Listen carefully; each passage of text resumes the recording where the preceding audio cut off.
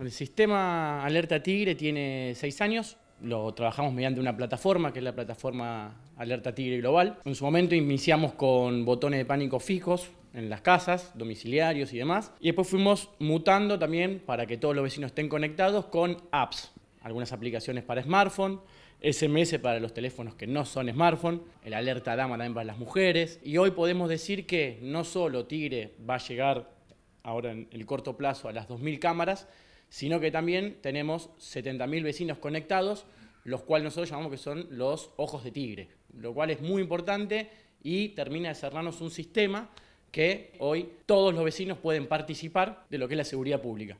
Y nos dan a nosotros una herramienta fundamental a la hora de la prevención. Las estadísticas que mostró el CESBI, donde mostró la baja del hurto automotor en Tigre, y es todo gracias a este gran sistema que hemos armado, en el cual el vecino es la herramienta y la pata fundamental de todo esto, ¿no? que motiva que nosotros podamos seguir creciendo y armando la prevención a raíz de todo lo que ellos nos pueden ir informando día a día. Siento que me va a dar mucha tranquilidad estar conectada, cuidada, que ante una emergencia uno puede tocar el botón y enseguida te responden. Le pasó a una amiga una situación particular y ella se sintió muy acompañada, por eso yo tenía muchas ganas de tener este sistema. Ya hace unos cuantos meses que lo tenemos. Toda la zona del barrio La Bota eh, lo está utilizando.